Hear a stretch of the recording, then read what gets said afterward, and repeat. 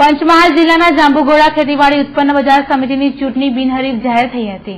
હાલમાંથી વિભાજિત કર્યા બાદ જાંબુઘોડા ખેતીવાડી બજાર સમિતિની ચૂંટણી યોજવામાં આવી હતી. તેર સભ્યો માટેની ચૂંટણી આજે યોજવામાં આવી હતી.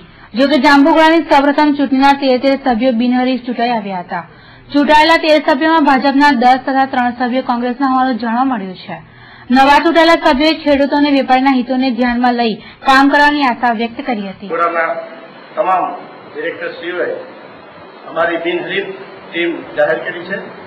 એટલે જાંબુઘોડાને વધારેમાં વધારે સરકાર તરફથી લાભ થાય એવી બધાની સંમતિ સાથે આજે અમારી જે ટીમ છે, એ બિનહરીફ જાહેર થઈ છે. ગોડાઉનો બનાવીને માલ ખરીદી, જે લોકોને મળેલી કાચો માલ લઈને વેચવા માટે જવું પડે છે. એ માલ જાંબુગોળામાં જ લેવાય. અને જાંબુગોળામાં ખેડૂતોને ભાવ વધારે મળે એવી અમારી બધાની ઈચ્છા છે. અને એટલે અમે કામ પૂર્ણ કરીશું.